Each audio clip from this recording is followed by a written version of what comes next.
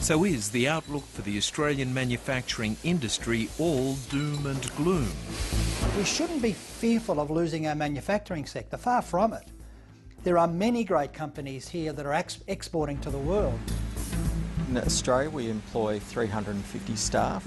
Interestingly, uh, our biggest export market currently is in Germany, and we've been exporting to uh, Europe for around 12 years now, and uh, that's grown significantly in the last five years. Though also feeling the heat of a high Australian dollar, Peter Sutton's family company, Sutton Tools, founded in 1917 by Peter's great-grandfather, makes high-precision drilling and cutting equipment, 40% of which is sold overseas. And how much have you depended on government assistance?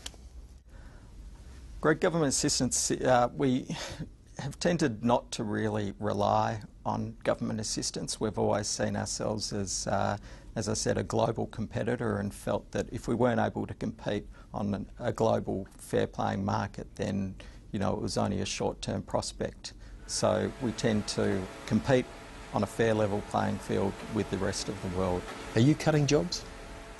Uh, we're not cutting jobs at this point. We're uh, actually still trying to grow our business, mainly through ac export activities in Europe.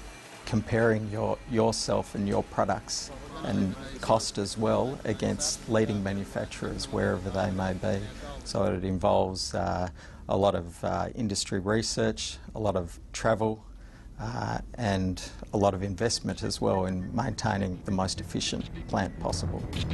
That said, Peter Sutton does not object to government support for the car industry, which he says develops technologies important for his own.